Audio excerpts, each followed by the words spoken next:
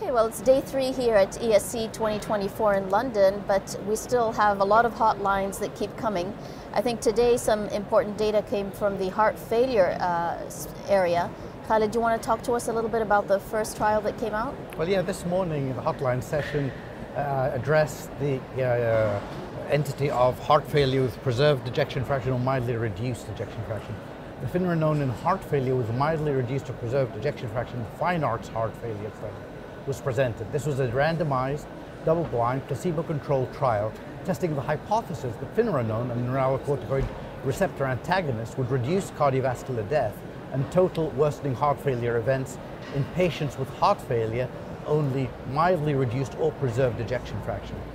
The inclusion criteria were symptomatic patients with heart failure in NYHA class 2 to 4 with an EF greater than 40%, either ambulatory or hospitalized recently for heart failure with an elevated natriuretic peptide, uh, evidence of structural heart disease, usually in the form of either LVH or left atrial enlargement, uh, and had required diuretics in the 30 days prior to randomization.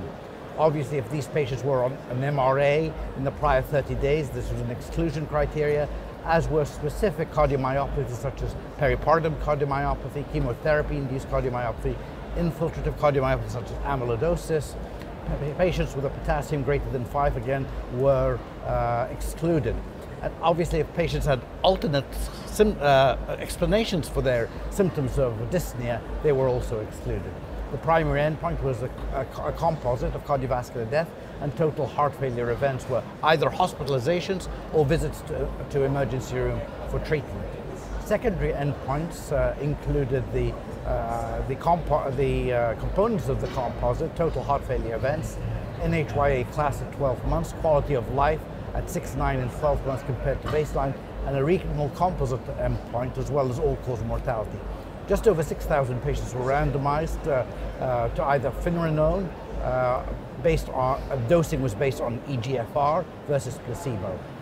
Uh, the, the, results of the study showed that uh, patients treated with finerenone had a reduced cardiovascular death and total worsening heart failure events, that is, the primary endpoint was reduced significantly compared to placebo. Uh, and this benefit was accompanied by improvements in health status, as evidenced by an improvement in quality of life scores, uh, and this, these results were consistent uh, across all pre-specified uh, subgroups, in, including those for EFs from 40 all the way to 60%. Furthermore, this benefit was also seen in patients who were already taking baseline uh, SGLT2 inhibitors. Uh, hyperkalemia, though, was noted more commonly in the, in the mineralocorticoid agonist receptor uh, active treatment group, although serious hyperkalemia was quite rare, less than 3%. Uh, and uh, this data, I think, will be used to support the use of this agent uh, to the armamentarium of treatment of patients with uh, heart failure and preserved or only mildly reduced ejection fraction. So along those lines, another meta-analysis was presented today that really had pre-specified individual patient level uh, uh, evaluation of the um, major trials that actually involved patients who had reduced ejection fraction, um, moderately reduced ejection fraction and preserved ejection fraction. So really the whole spectrum. Over 13,800 patients were involved. It included RALES, EMPHASIS, Heart Failure TOPCAT, and of course the FINEARTS uh, HF trial that was presented. The safety of MRAs was consistent across all the trials where we saw that serious hyperkalemia was actually low in the range of 3% and the risk of hypokalemia, which is also uh, an important adverse event, was 50% lower in the MRA group. So really, in these 14,000 patients, we have confirmation now that MRAs in heart failure, all subsets, there is a benefit, um, and in all subgroups, and the, and the safety profile is extremely high. Um, and along those lines, again, I want to move from heart failure, but to a different entity of the um, cardiovascular space, which is elderly patients.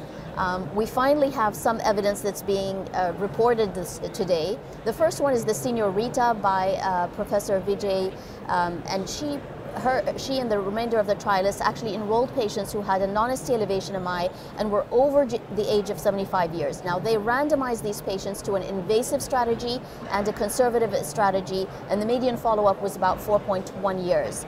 The primary endpoint was cardiovascular death or myocardial infarction, and the secondary endpoints were the two components of the primary endpoint, as well as unscheduled or unplanned revascularization, all-cause death, stroke, hospitalization for heart failure, and bleeding complications, as well as some quality of life metrics. They actually ended up enrolling over 1,500 patients, of whom 45% were women, 72% were over the age of 80, so this is indeed an elderly uh, population.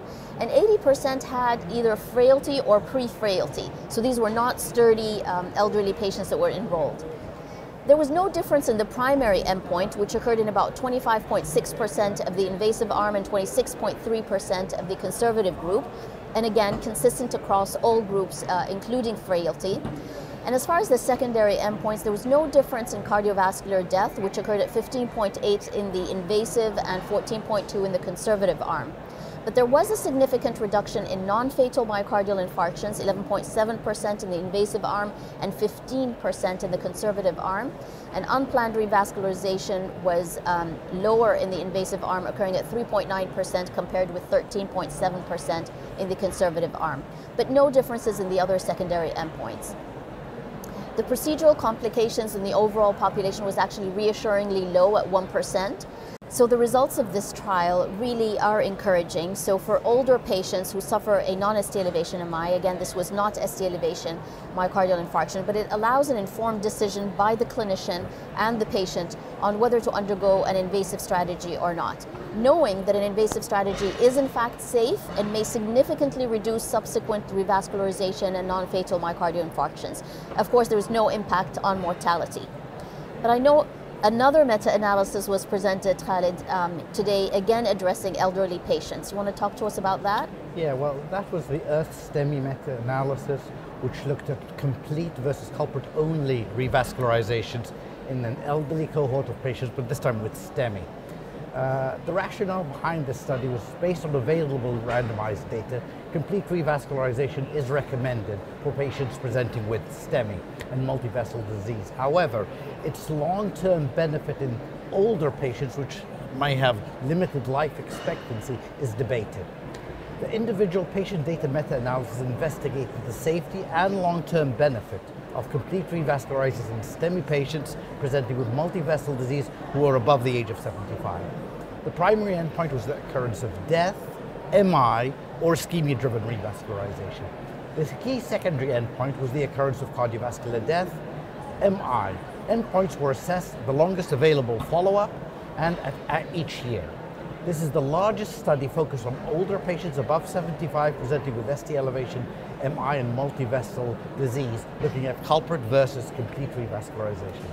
Complete revascularization was associated with a significant reduction in the composite endpoint of death or MI.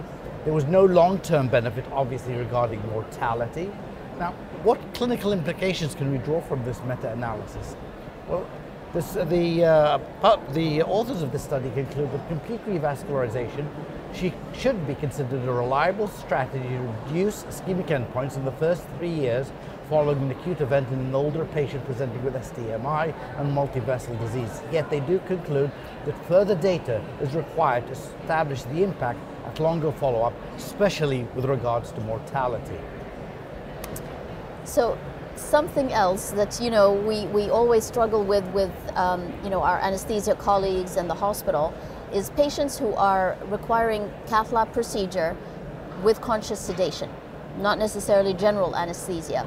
And the whole question of fasting and non-fasting, I know it was presented today, so can you just talk to us a little bit about that? Yeah, I'm, I'm going to have to change my practice because I'm one of the old guard that keep my patients fasting. So this uh, this study looked at whether or not we should do that. So uh, it was a randomized trial in, carried out in Australia, the SCOFF trial, that looked at fasting or no fasting prior to, car, uh, to cardiac catheterization. 716 patients were included who were having a, piece, coronary, a coronary angiogram or coronary procedure that required moderate sedation. And it was designed to see if no fasting was safe as fast as, as fasting, and if removing fasting improved patient satisfaction. The primary outcome, they looked at complications that we usually associated with going to the cath lab in a non-fasting state and administering administra uh, sedation. Aspiration pneumonia, low blood pressure, high blood sugars, low blood sugars, uh, and they, they uh, what they found was that the probability, there was a 99.5% probability that no fasting is as good as fasting. They also found a 99.1% probability that no fasting was better than fasting. And it was associated with better uh, patient satisfaction scores uh, with, uh, with no fasting scoring 15 uh, versus uh, no fasting scoring 11. So again, there was no downside to feeding these patients and uh, patients felt better and had a more positive patient experience. So maybe we should stop getting our patients to fast before routine angiography or PCI. Yeah, I mean, it's certainly reassuring data and can help us start our conversations in our respective uh, hospitals. But there's one final study that I do want us to touch on today. Um, it was the extended uh, results of the AVATAR trial. Now, this is, of course, a surgical trial that actually enrolled over 157 low risk patients with severe aortic stenosis and um, they were a low risk population, meaning their mean uh, STS score was actually 1.7. The mean age was 67, and about 57% of them were men. Um, they did an intention to treat analysis for these patients, and they followed them up with a median follow up of 63 months. And those are the results that they ended up reporting today here at uh, uh, ESC. And we know that the primary endpoint was a composite, and it occurred in 23.1% of those who had early surgical aortic valve replacement, and 46.8% in those who were conservative arm, meaning it was just watchful waiting and following up these patients echocardiographically and for symptoms. And it's interesting that they, the Kaplan-Meier uh, estimates for the individual endpoints of all-cause death, heart failure hospitalizations were significantly lower in the early surgery. And so, you know, it would be really interesting to see as we await the early TAVR trials if mm-hmm. they will parallel the results of the early surgical trials. Absolutely. Now, those are coming up towards the end of October at TCT. Well, thank you, everyone.